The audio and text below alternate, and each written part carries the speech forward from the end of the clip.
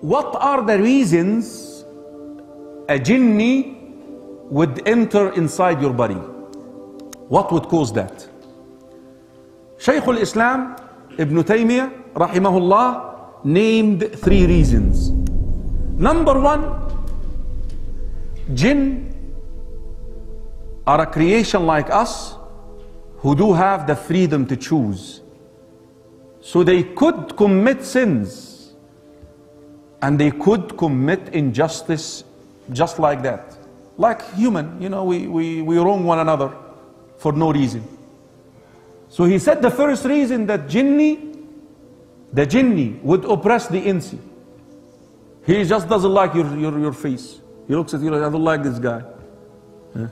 Of course, you don't know what, إِنَّهُ يَرَاكُمْ هُوَ قَبِيلُهُ You don't see him.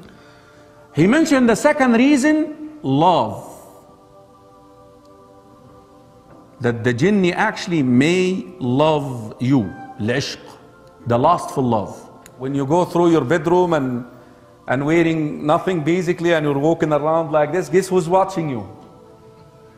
The jinni is watching you. وذلك الرسول صلى الله عليه وسلم told us what to do when we take off our clothes. Bismillah. If you say Bismillah, a curtain between you and the jinni. Yeah. But how many of us come out of bed in the morning and you want to get your coffee from the kitchen? I stopped doing that after learning this. Guess what? The jinni is looking. Mm. And he's going to go inside that body because he loves you. Actually, a lot of the, especially, yani, no offense for the sisters, especially with the women, with the sisters. A lot of the sisters are possessed by jinn because of that reason, that the jinni actually likes the women. That's why the, the women also should be careful about the way that she dresses in, inside her bedroom and so forth. Number three, ذكر شيخ الإسلام that you unintentionally inflicting harm upon the jinni. Like pouring hot water in the ground and there happen a jinni is out there. You harm that jinni. now vengeance now. He want to get at you. Now what can save you also from this? Saying Bismillah. Anything that you do, say Bismillah. You're safe from that. Can the jinni enter the body of the human just like that anytime? Anytime? The answer is no. Uh, I'm talking about the possession.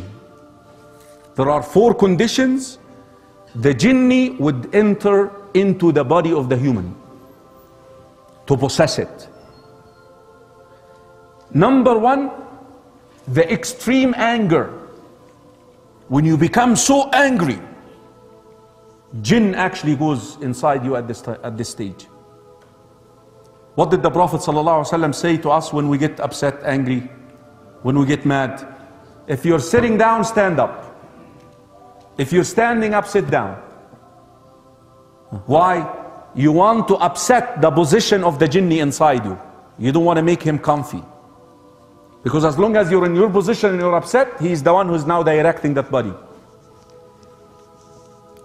وال- والحديث يا إخوة uh, سلمان سليمان بن صرت uh, he was sitting next to the Prophet صلى الله عليه وسلم, a companion and he, he got so angry you know when you get so angry that your face what and things come out of your mouth you know to do like this I said إني لا أعلم كلمة I know a statement if he says أعوذ بالله من الشيطان الرجيم the second case here is extreme or excessive fear excessive fear, the state of excessive fear. You're vulnerable during these conditions. So, excessive anger or excessive fear that you're so fearful, you're afraid. Jinn can actually go inside you at this stage. Number four, excessive heedlessness.